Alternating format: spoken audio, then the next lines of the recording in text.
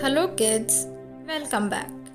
Today, in 2 Minute Tales, I am going to tell you a story. It is the story of two seeds. Two seeds lay side by side in the fertile soil. The first seed said, I want to grow.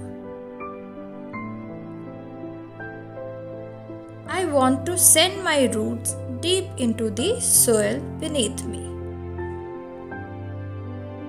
I want to thrust my sprouts through the earth's crust above me. I want to feel the warmth of the sun on my face. I want to feel the blessing of the morning dew on my petals. And so the first seed grew.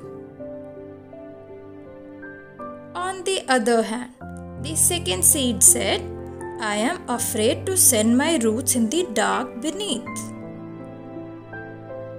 If I push the soil above with my delicate sprouts, they may get damaged. And if I blossom, a small child may pull me from the ground. The second seed thought for a while and decided to wait until it is safe. But one day, a bird looking for food in the ground found that unsprouted seed and ate it. Moral of this story is those who dream big and think positively will grow and prosper. Thank you and have a nice day.